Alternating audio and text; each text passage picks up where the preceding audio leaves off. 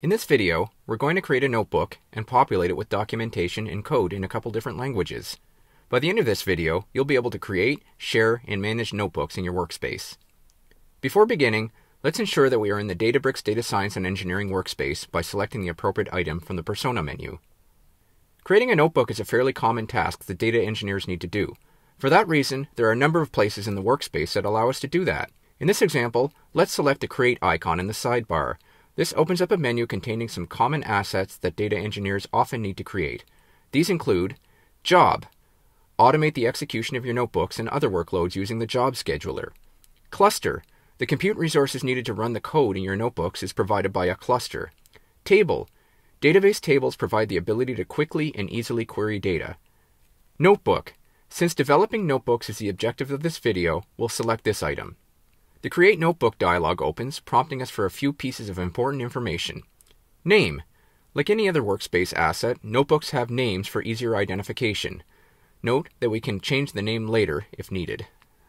Default language. Notebooks are essentially a collection of commands. Code can be written in Python, R, Scala, or SQL, providing an environment that will be familiar to both data analysts and data scientists alike. Since languages can be intermixed within a notebook, the default language specifies which language to use when not explicitly specified in a cell. Choose a language that you anticipate using the most in your notebook, but there's no need to overthink it since it can easily be changed later. And, as I mentioned, individual cells can override this choice. For now, let's set this to Python. Cluster. Clusters provide the compute resources to run the commands in a notebook, so choose a cluster for which you have appropriate permissions. You can develop a notebook without being attached to a cluster, but you will eventually need to attach one when you go to run commands in your notebook. Let's click Create and a new blank notebook opens. Let's first add some text to document this notebook. Remember that we chose Python as a default language, which means that Databricks will assume that this cell contains Python code unless we specify otherwise. So let's begin with the line %md this sequence is known as a magic command, and Databricks supports a number of magic commands to designate cell contents and perform various other tasks. MD is short for Markdown, an open text formatting language used by Databricks. From here, let's populate the cell. Let's create a heading with a comment. Notice the syntax highlighting that takes place as we type. As we would expect from any integrated development environment, Databricks provides visual cues to make it easier to develop Markdown and code in all supported languages. Now let's add some code to this notebook. From the Cells Edit menu, let's select Add Cell Below, and a new empty cell appears below. As we're going to write this code in Python, which was the default language we chose, we don't need to begin it with a magic command. Let's write some code to read a data file into a data frame. The input file is a sample file provided by Databricks containing diamond pricing data. As it stands, this code would just silently read data into a data frame object. For an interactive development environment like this, that's not really very useful. Let's add another line to display the data represented in this data frame. With our first command cell in place, let's try running it to see the results. A couple things happen. The code is dispatched to the attached cluster, and the status of the Spark jobs that process the workload is captured. You can explore this status more deeply if you ever need to troubleshoot execution or performance problems. Thanks to the display function call, the data represented by the data frame object is nicely formatted in a table. This is a form of visualization that Databricks provides, and we can customize these visualizations to meet our needs, as we will soon see. Let's create a new cell that continues the code from the previous cell.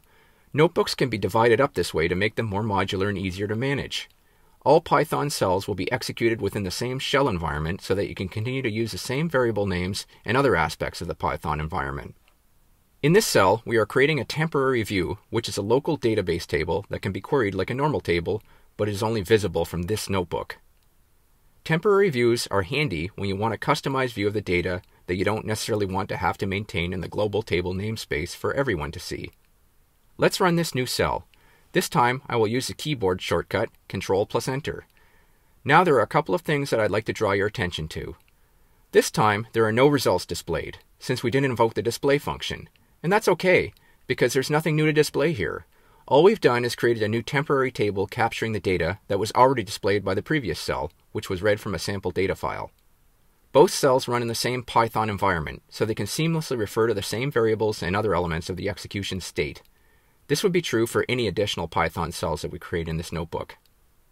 Cells can be executed manually in any order you please.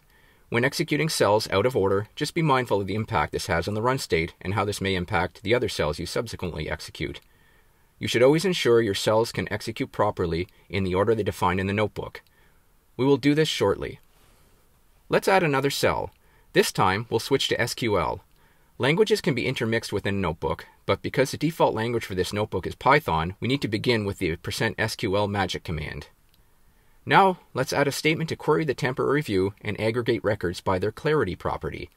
This statement highlights another useful application of temporary views, and that is the ability to inspect the data frame from SQL. Notice that when we run the cell, the result of the query is tabulated automatically. Since we can't explicitly invoke a display call from SQL, Databricks does this for us. Let's visualize these results using a bar graph plot. With a couple clicks, we now have a result that is more visually meaningful. There are a number of different visualization types available that can be customized and used in a dashboard if desired. Let's annotate our notebook with additional cells. Notice that using the hierarchical structure provided by Markdown, we can leverage the table of contents feature to improve the ability for others to read and navigate our notebooks. The results in execution state become part of the overall metadata that is maintained with a notebook. This can be handy, as we can always refer back to the results obtained at the time the notebook was run without necessarily having to rerun the notebook. However, at times it might be desirable to clear the state and or the results, which can be done from the Clear menu. Let's do a full test of our notebook to ensure that all the steps execute properly in sequence. This is an important thing to test before advancing this notebook to a production environment where it will likely be run in its entirety in batch mode. Now that we understand the basic mechanics of creating and populating a notebook, let's talk a little bit about managing and sharing notebooks with others. Suppose we want to share this notebook with a colleague or one of our customers. Copying and pasting command cells individually would be time consuming and error prone. Instead, we can export notebooks. Let's choose Export from the File menu, and we can see that there are a variety of options to choose from. The two options that are the most useful are HTML. Use this option if you want to export a non-interactive web page capturing all the cells in your notebook for presentation or documentation purposes. Any results that haven't been cleared will be included in the page. DBC Archive. Use this option if you want to export your notebook and its metadata in a format that's easy for others to import into their own workspace. Note, you can also export as a source file. This will generate a representation of the notebook using the syntax of the chosen default language. As you develop more notebooks, you'll need to navigate and switch between them. Use the Recents item in the sidebar to see a list of recently accessed notebooks. This list is also available on the home page. You can also access your notebooks from the Workspace item in the sidebar. This will provide a file system-like navigator where your notebooks and other assets can be managed. Within the Workspace Navigator, each element is represented as an item in the list. From there, you can create a copy of the item, rename or move it, delete it, export it, or control access. We exported a notebook earlier. Likewise, we can import notebooks into our workspace. When importing, we can upload a file containing an exported notebook from our local file system, or we can also specify a URL. In this example, I am specifying a URL pointing to a Databricks demo notebook, linked from the documentation. This video provided a quick introduction to the notebook development environment, as well as how to perform basic management functions related to the notebooks you develop. We hope this was helpful. Thank you for watching.